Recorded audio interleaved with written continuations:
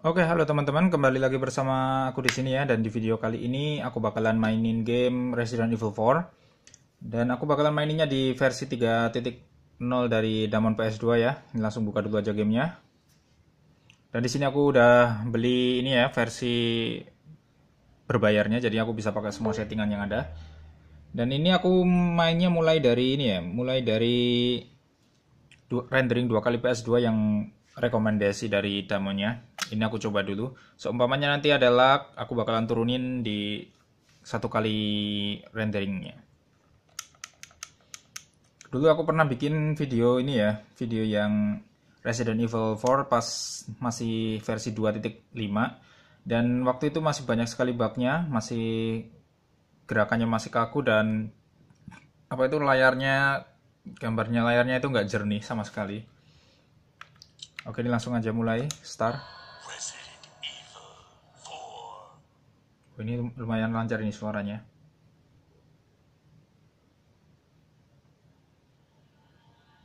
Oke, ini oh, Oke, oke. Ini ini masuk ke video intronya ini apanya ini ya? Apa vertical line-nya udah udah agak berkurang. Udah nggak terlalu kelihatan ya. Pas di versi sebelumnya itu vertikalannya banyak sekali dan hitam-hitamnya itu kelihatan banget.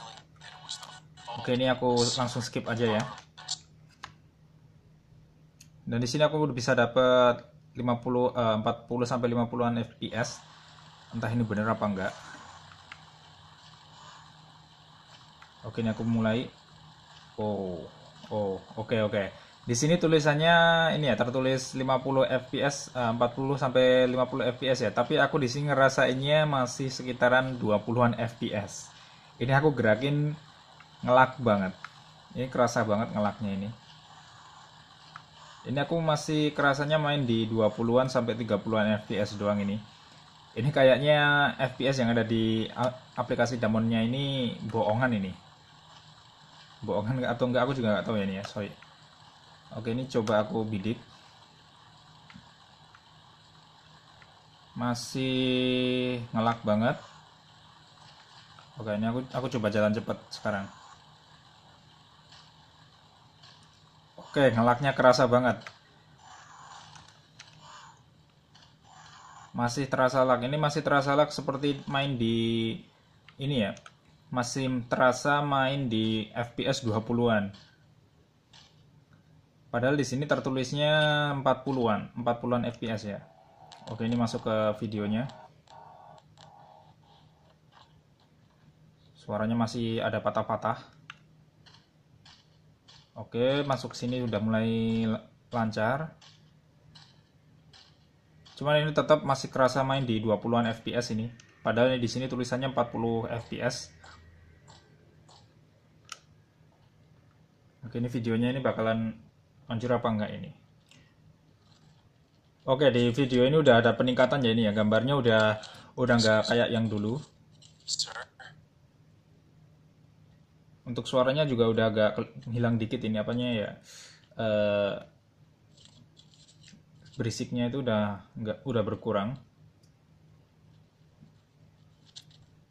Oke di sini ngelak. Ini ini terasa di 15 fps-an ini.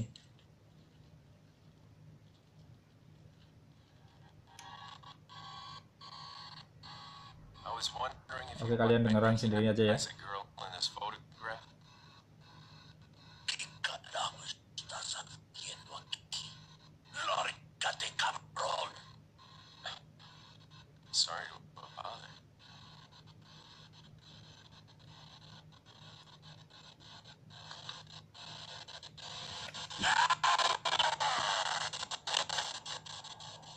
Oke, itu ngelak. Masih sama aja.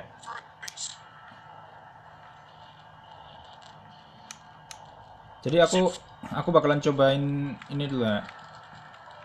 Oke, ini bidik. Di sini tertulis 40 fps tetapi bidikan sama tembakan masih kerasa kayak main di 10 sampai 15 fps. Oke, ini ini ini lemot banget. Aku kayaknya bakalan nurunin ininya, bakalan nurunin resolusinya. Ini bakalan tambah cepet atau enggak? Ini aku save dulu di sini.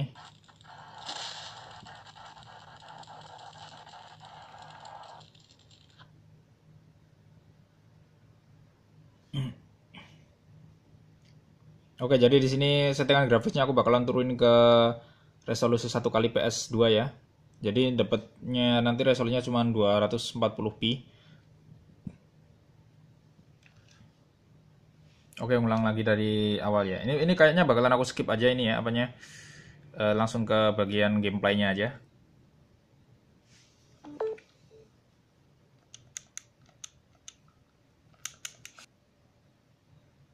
Oke teman-teman dan di sini aku udah ganti ke ini ya settingannya aku ganti ke satu kali PS2 dan gerakannya kita lihat di sini masih tertulis 50-an FPS ya ini udah satu kali PS2 jadi ini settingan yang settingan rendering yang paling rendah. Dan ini yang aku ini masih kerasa lag banget. Masih kerasa lag dan ini kayaknya nggak nggak mungkin kalau dapat 50 FPS ini mainnya terasa masih di 20-an sampai 30 fps jadi nggak beda jauh sama yang settingan dua kali PS2 ingat ya ini ini aku cuman pakai Snapdragon 835 dan ini terasa banget ngelaknya kemungkinan kalau kalian pakai yang Snapdragon 845 atau ke atas mungkin bakalan jauh lebih enteng ya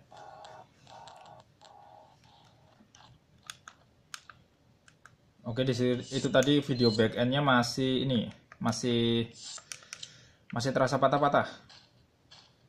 Aku bakalan coba masuk ke rumahnya dan lihat dulu. Oke, masih sama aja, FPS-nya masih sama aja. Ini videonya.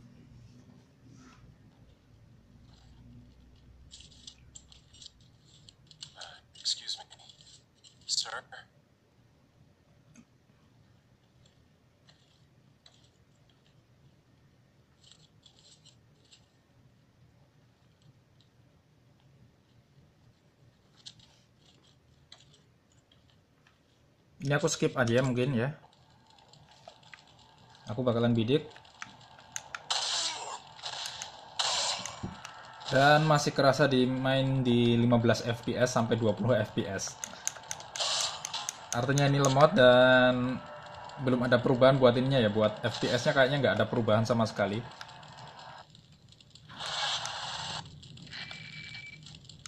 Ini aku skip jadi menurut aku sih ini apa ya uh, update di 3.0 ini perbaikan grafik aja kalau menurut aku. Soalnya kalau untuk FPS di game Resident Evil 4 ini nggak nambah nggak kerasa nambah FPS nya FPS nya masih sama aja cuman grafiknya sama suaranya udah agak mendingan. Kayaknya FPS yang tertulis di sini bohongan deh entah bohongan atau enggak ya. Di sini tulisannya 40-an fps tapi aku kerasannya masih main di 20-an fps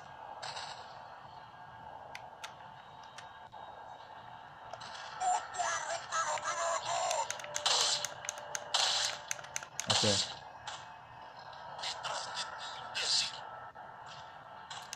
Dan ini aku sudah pakai semua tweaknya ya. Bisa kalian lihat di sini ini aku pakai tweaknya semuanya dan settingan-settingan yang ini. Oke sekarang aku bakalan nyobain settingan frame rate tercepat dari Damon PS2 nya apakah bisa fungsi apa enggak ini? Apakah FPS nya bakalan nambah atau enggak? Dan sama aja tidak ada perubahan sama sekali. Oke untuk yang pertama tadi aku pakai settingan aku sendiri ya. Aku sendiri ya. Aku tadi manual setting dan ini pakai settingan dari Damon PS2 nya yang FPS tercepat. Tapi masih tetap sama aja malah grafiknya makin buruk dan FPS nya sama aja.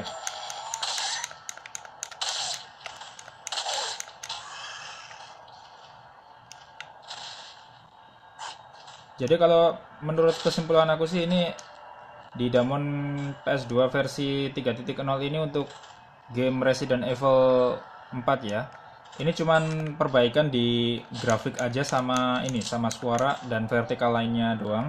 Jadi vertikal line udah ada udah agak berkurang terus di gameplaynya udah nggak ada kayak kabut-kabut itu udah hilang dan suaranya udah lumayan jernih. Cuman untuk FPS beneran ini nggak ada perubahan sama sekali kalau menurut aku ya. Oke jadi cukup segitu aja video untuk kali ini ya. Soalnya ini aku ini cuma nyobain aja nggak bakalan main sampai lama ini aku cuma mau nyobain perbedaannya doang aja dari versi 2.5 sama 2 sama 3.0 jadi perbedaannya kayak gitu tadi ya ini vers untuk versi 3.0 cuman perbaikan grafis kalau menurut aku grafis sama suara doang tapi untuk peningkatan FPS nya masih belum ada jadi cukup sekian video untuk kali ini. Kalau kalian suka silahkan di like. Kalau kalian nggak suka silahkan aja di dislike. Nggak apa-apa. Terima kasih sudah menonton dan uh, ya udah sampai jumpa.